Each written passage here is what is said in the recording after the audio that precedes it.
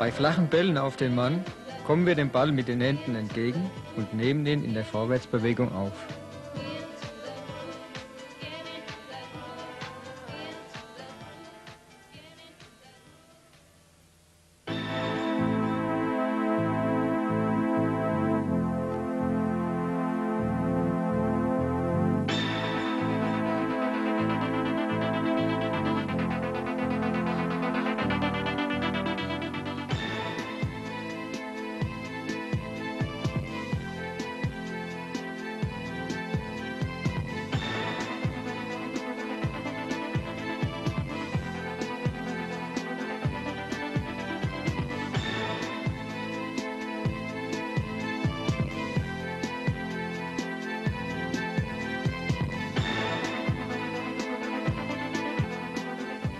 Kommt der Ball, hart geschossen, in Körpernähe, entlaste ich das Bein auf der Seite, auf der ich runtergehe. Bei flachen Bällen in die Torecke gilt, immer mit der ballnahen Hand zum Ball und diesen dann möglichst schnell körpernah sichern. Den ersten Bodenkontakt bei Flachschüssen, nach denen ich hechte, hat die Oberschenkelaußenseite. Bei hohen oder halbhohen Bällen, die nicht zu erlaufen sind, versuche ich so explosiv wie möglich direkt zum Ball zu hechten. Andi und Kurt zeigen es uns vorbildlich.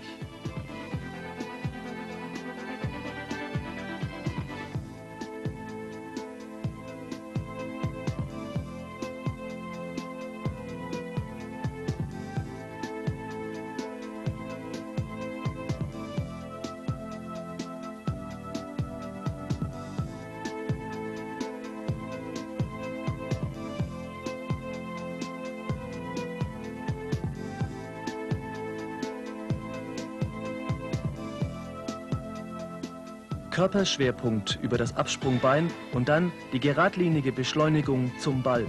So ist eine maximale Reichweite ohne Zeitverlust gewährleistet.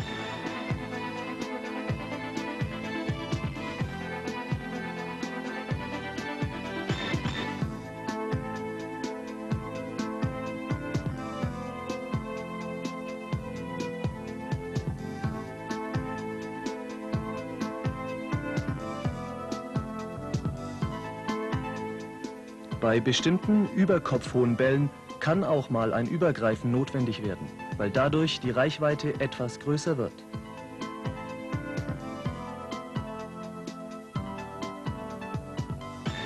Die Landung, bei der die Körperspannung gehalten werden muss, erfolgt nach dem Flug im Idealfall auf der Außenseite des Oberarmes.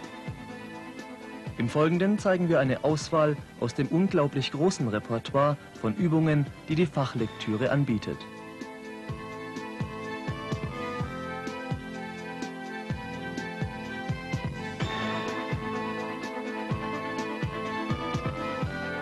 Wichtigstes Prinzip ist hier für uns, weniger ist oft mehr, was heißen soll, dass der Torwart nicht überbelastet wird, wie es bislang in der Praxis wohl häufig der Fall sein dürfte.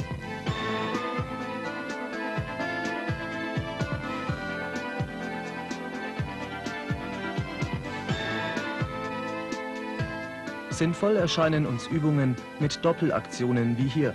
Den Partner überspringen und dann der explosive Hecht zum Ball.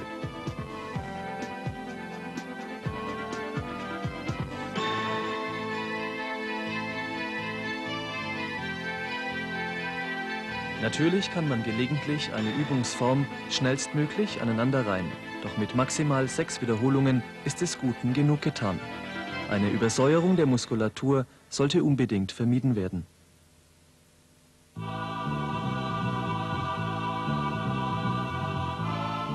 Die Durchführung eines großen Teils der hier gezeigten Übungen erfordert auch vom Trainer höchste Aufmerksamkeit und Konzentration beim Schuss oder Wurf.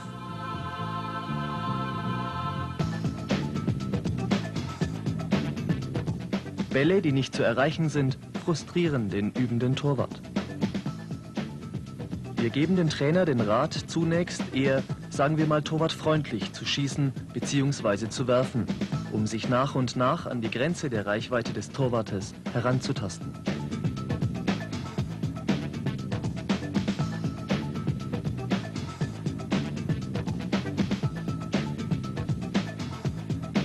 Trainieren wir nach der extensiven Intervallmethode, ist unbedingt auf ausreichende Pausensetzung zu achten.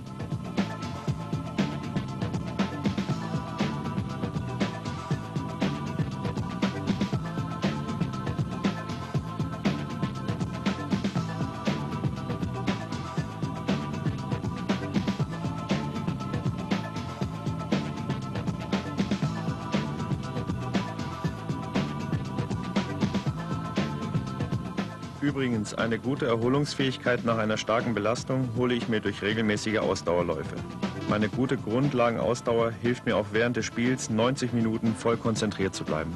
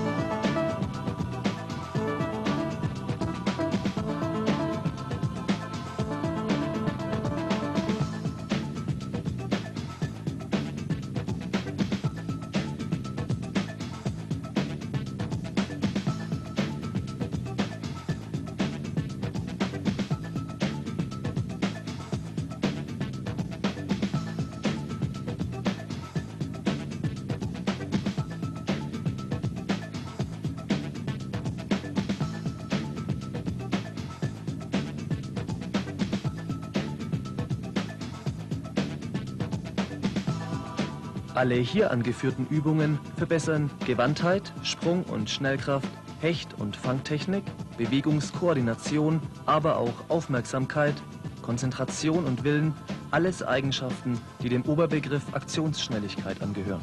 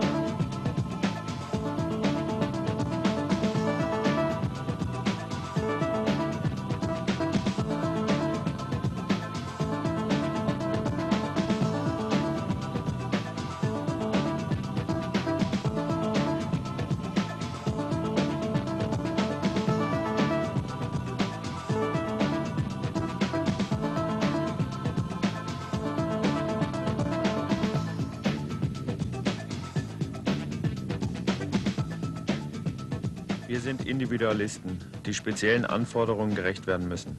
Wehe, wir machen einen Fehler. Andererseits können wir eher einen Punkt gewinnen als jeder Feldspieler. Deswegen brauchen wir unbedingt individuelle